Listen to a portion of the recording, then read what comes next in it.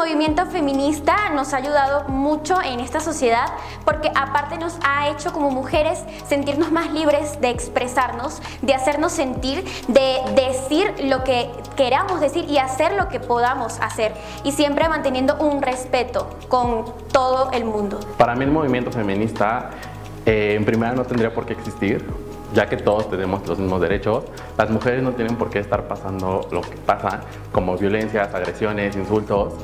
Para mí el feminismo, más que una ideología o una manera de pensar, para mí debería de ser un estilo de vida que todos deberíamos de adoptar.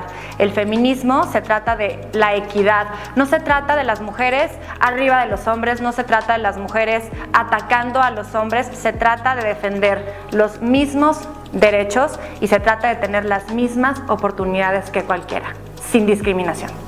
Yo me he sentido acosada de muchas formas, eh, constantemente eh, por, la, por la calle, por los sitios públicos e incluso este, hay comentarios que han sido un poco mm, machistas que han venido de amigos. Sí, me he sentido muchas veces agredido con las personas que me rodean en el trabajo, eh, con mis amigos. Hasta me he sentido insultado por familiares, por cómo me expreso, por cómo camino. Me he sentido acosada, violentada, agredida muchísimas veces por el simple hecho de ser mujer.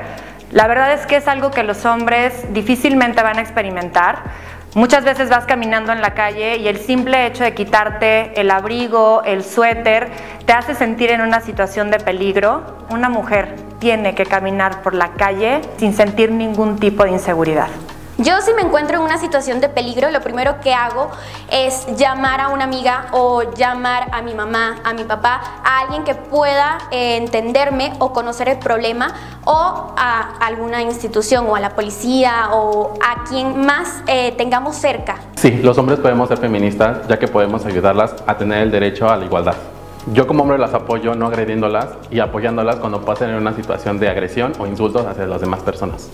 Todo el tiempo estoy en movimientos que ayudan a las mujeres Fundé uno de los grupos de mujeres más grandes de Latinoamérica y para mí no solamente es importante luchar por la equidad, sino porque las mujeres todo el tiempo estemos en desarrollo, todo el tiempo estemos aprendiendo de género.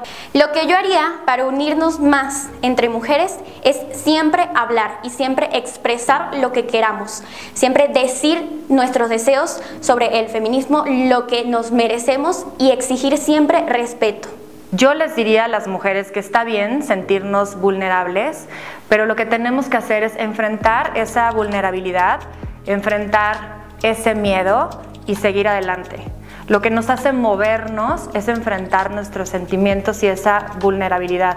Cuando nosotros logramos tocar la vulnerabilidad, nos sinceramos con nosotros mismos y podemos entender a profundidad qué es lo que está pasando.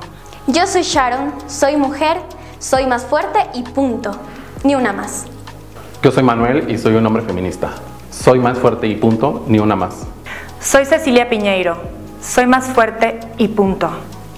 Ni una más.